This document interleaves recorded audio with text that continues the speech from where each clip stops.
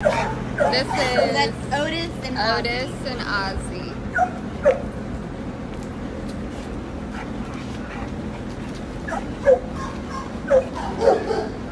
He's probably like a previous litter.